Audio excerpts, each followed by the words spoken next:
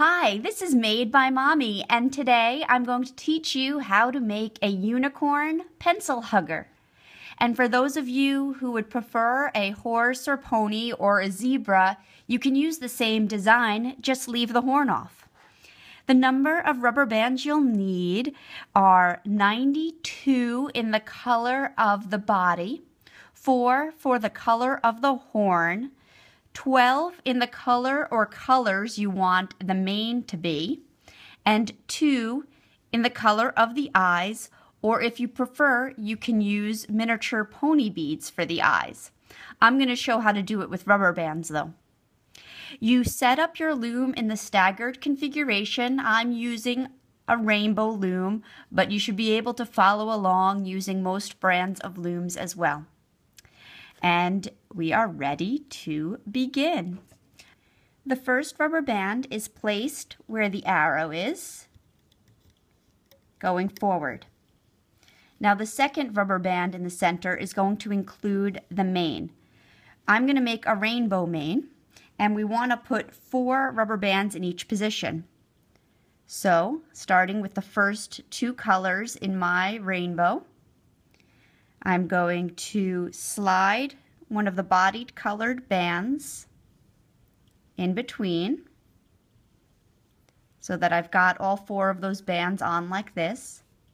And then I'm going to place that rubber band right here on the loom with those four bands loose.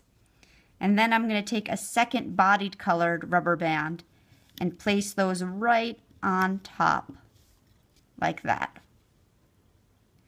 Then the next position, and because I'm doing a rainbow, that's two different colors. So I'm taking now my yellow and my green, sliding those onto one of the body colored bands, and then extending that body color band over the next position, like that. And then taking another band to match the body and placing it on top. And once more for the mane, you take a body colored band and then four in the colors or colors, color or colors you want the mane to be. Slide those over the next two pegs and then add another rubber band on top. And now just taking two at a time in the body color, we're going to go to the next two positions.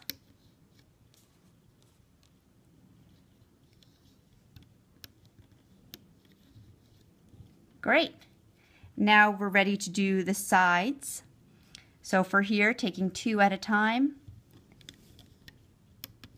we're going to go down for all the way till there. So that's one, two, three, four,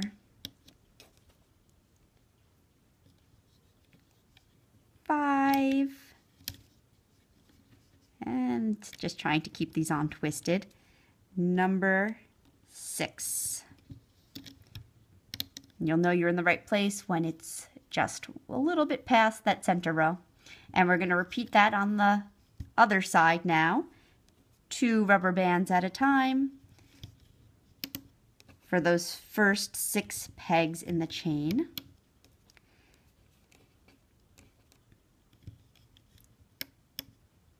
And if I'm going fast, feel free to pause to catch up. I'll be here when you get back.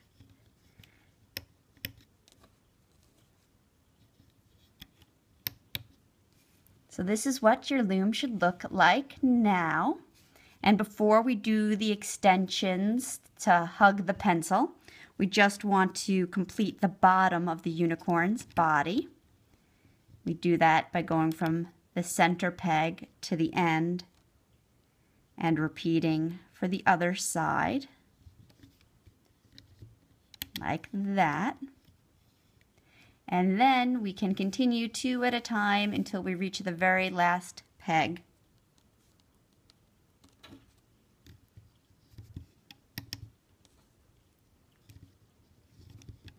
I definitely want to see in the comments below if this is the first pencil hugger you're making or if you've made either of the other ones that are already posted, which are the panda bear and the girl or princess. And I'd also love to hear if you'd like to see more pencil huggers and what those should be.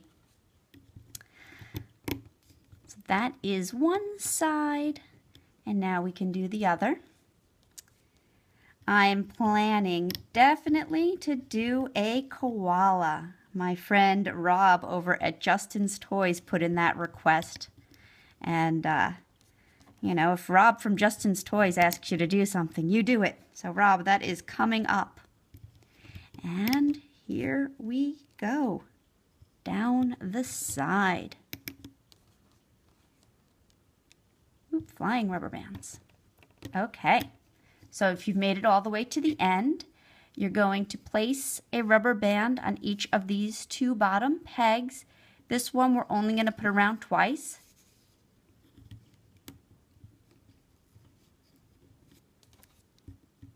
And here.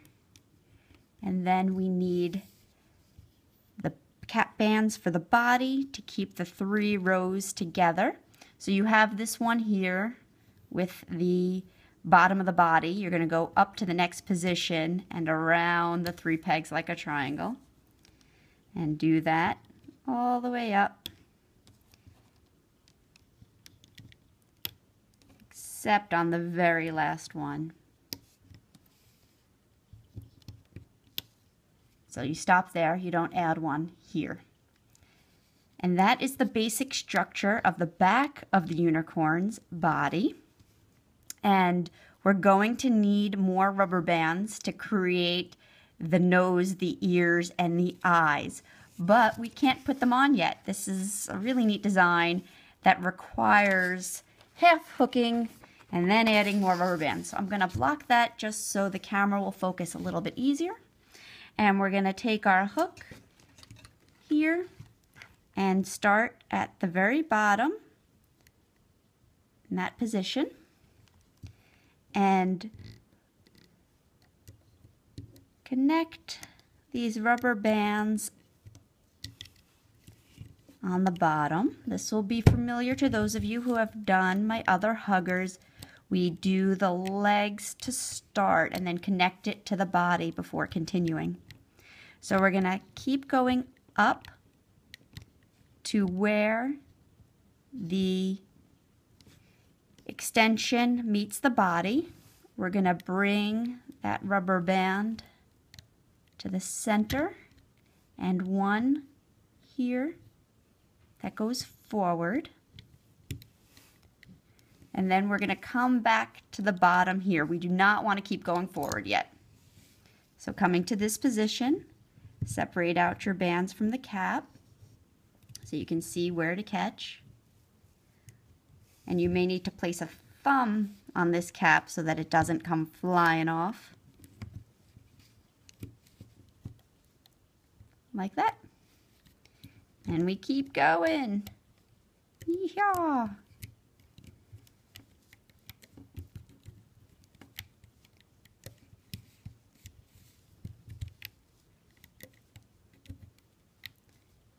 Okay, from this position, first we're going to take these two that are on top here and bring them to the middle.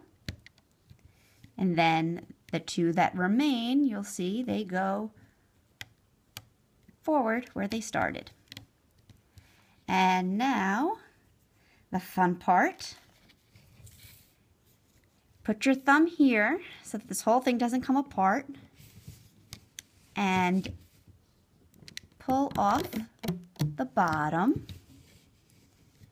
and twist it around, skipping this peg and going up to the next one. There. And this is where you're going to stick the pencil through later. Again, keeping your finger here so that you don't take too much off. And then twisting around and placing on that peg. And now you can continue with the rubber bands, we're going to do this middle row, catching those two rubber bands that go straight forward and bringing them up. For two and then one more and then stop when you've done the bands that cover that first section of the mane. Come over to the side. Bring these forward.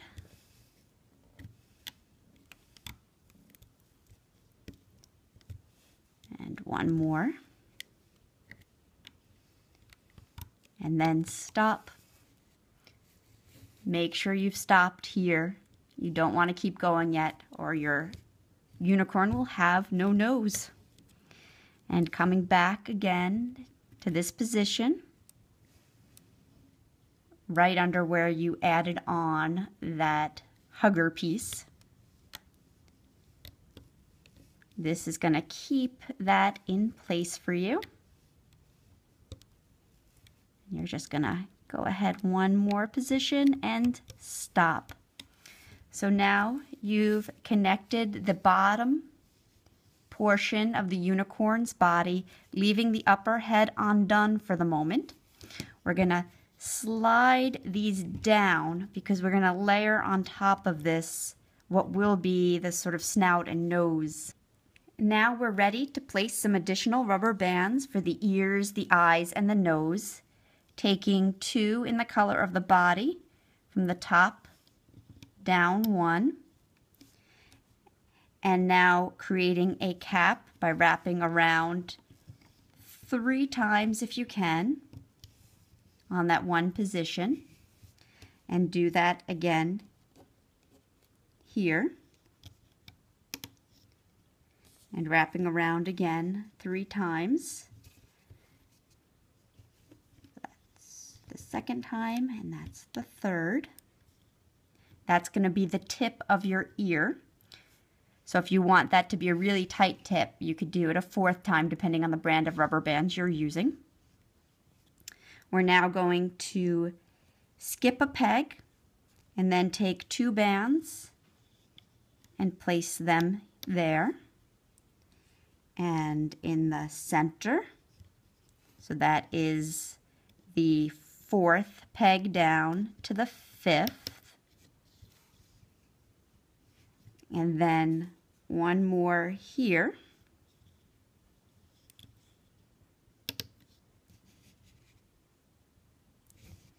So we've just done that, that, and that, and we now need to do these ones that angle into the center.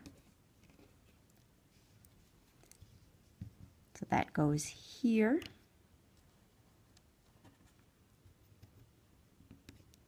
And here. And from where you have these all on one peg, we're going to do another two rubber bands going forward. And then here we need another cap band wrapped around three times.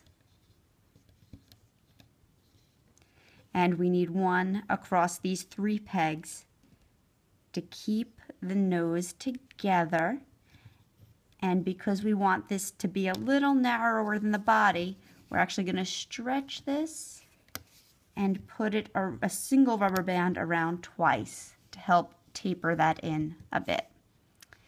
That's the nose. And now to set up the eyes, take a rubber band in the body color and wrap it around two pegs twice. We want that rubber band to be tight so that this looks nice and neat.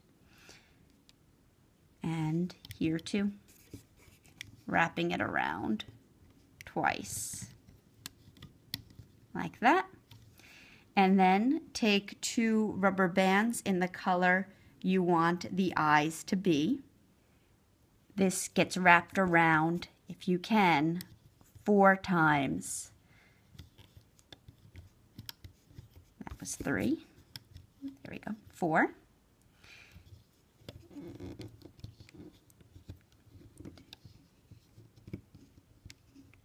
So that the eyes also will be very neat uh, if you don't have beads. If you have beads, then you can string those on those doubled over bands. And then to set up for the horn, again, we're gonna put these bands around twice because we want the horn to be really narrow.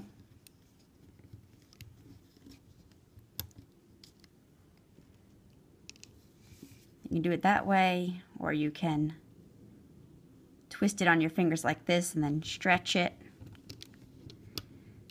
Everybody has their own favorite way to double over the band.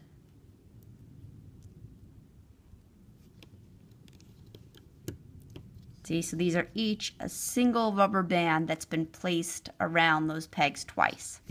And for the tip of the horn, we want this wrapped four times.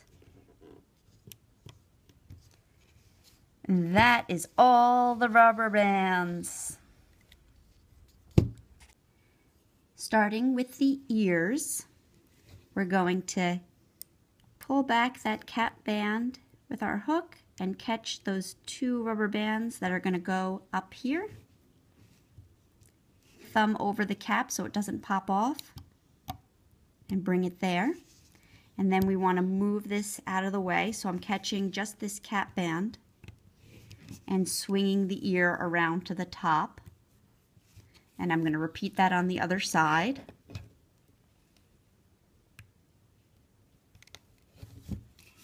Thumb to keep that from popping off.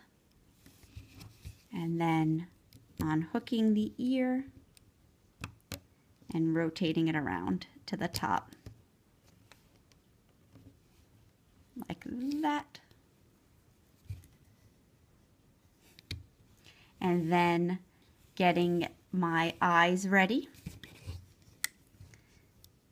If you have a metal hook, this is actually a great time to use it.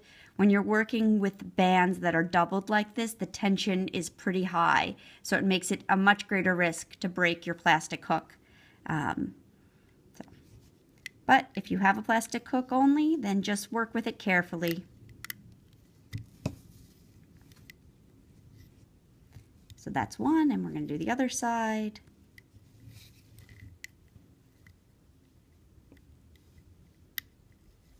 Like that. And to bring these eyes into their position, bring it your hook in to the thick portion and put your thumb over it. So you can pop that eye off of the loom. You may want to do a little bit of tugging to even out those bands if one is sort of pulled further than the others. And then looking at this cap band that's on the second peg, we're going to lift the, I'm just sliding this down so it's easier to access to the thinner portion. Then I'm going to lift this corner of the cap band up, slide the eye onto that band, and then replace it where it was on the peg. So now your eye is where it needs to be.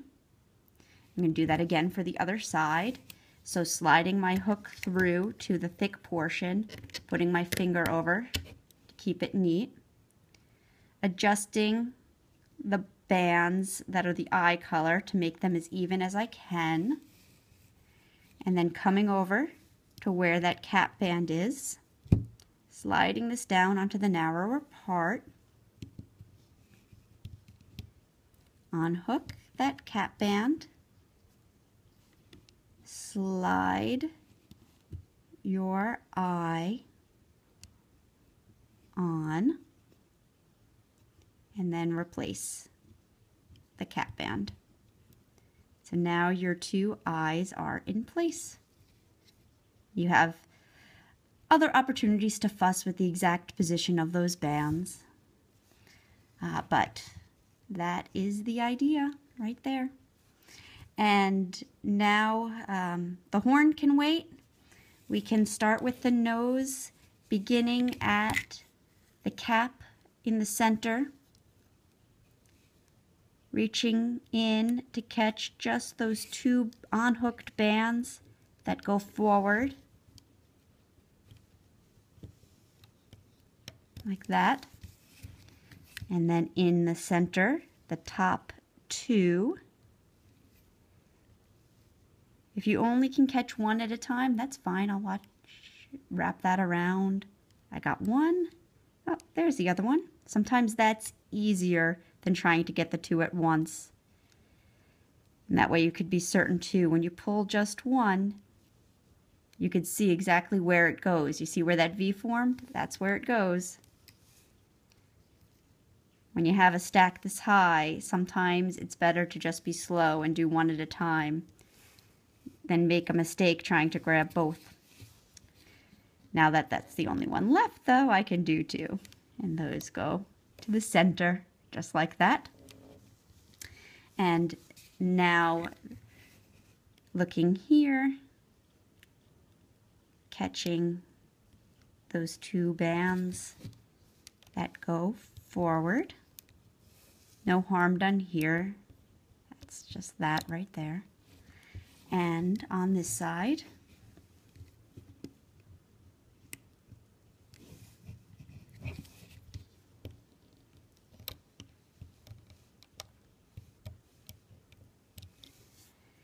And that's going to be the nose. And now we can do the top of the face. Going through all of these to catch the two that go forward.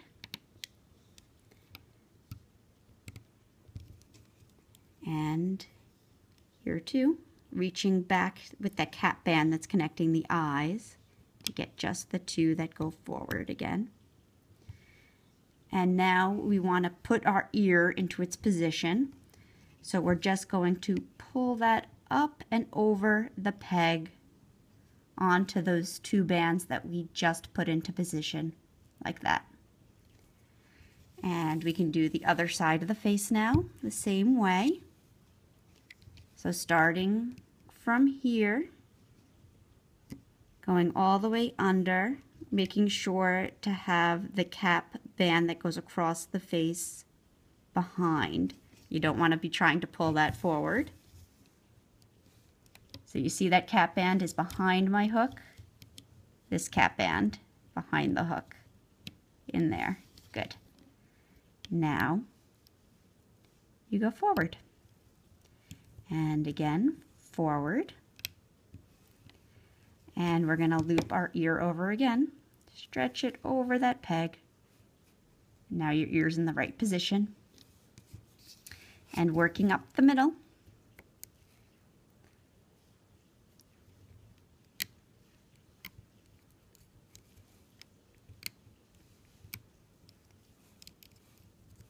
And before we do this last one, you want to bring both sides of the head to this peg.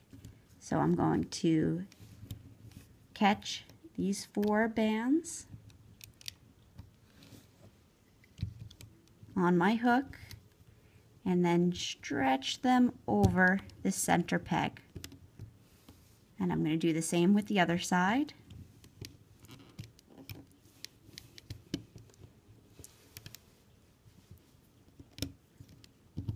Good, good, good.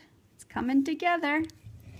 And we have now just to get this one rubber band all the way down there that holds them all together. Tug that up, then release the bottom rubber band, pull it through, and tug up to create a slip knot. If this rubber band just broke on you, you can go ahead and put another one in before you take these all off the peg. But you don't want to pull too tight on this because it will break. We can tighten it after this is off the loom. So the only thing we're missing now is our horn. We can add that after. I'm going to take this off so that you can see the whole process of making a pony. And then if you want to continue to add the horn, you would do so. So loosening from the bottom and the sides first.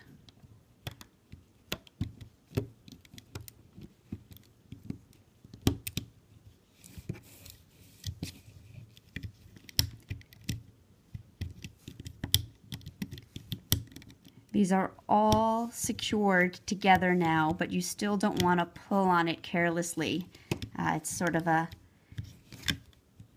delicate point that you don't want to strain any one rubber band and have it snap on you. That would be so sad.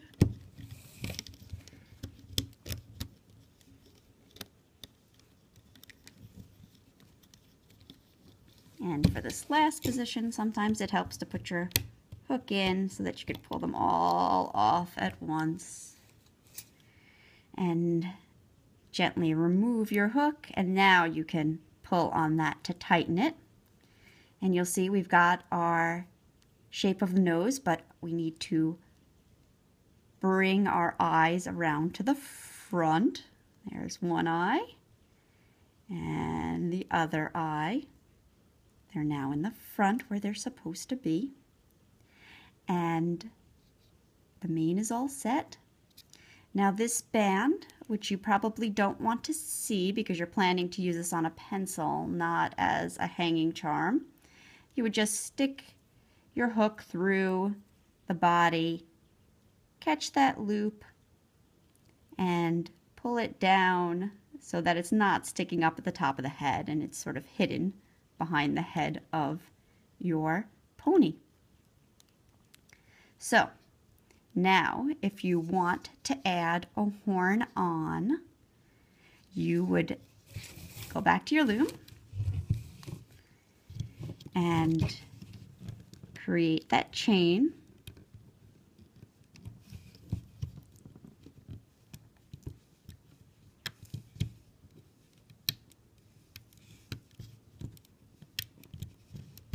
So for this last position, we're going to create a slip knot, sliding these two bands into the center of those two, like that. And then you can pull your whole horn off of the loom.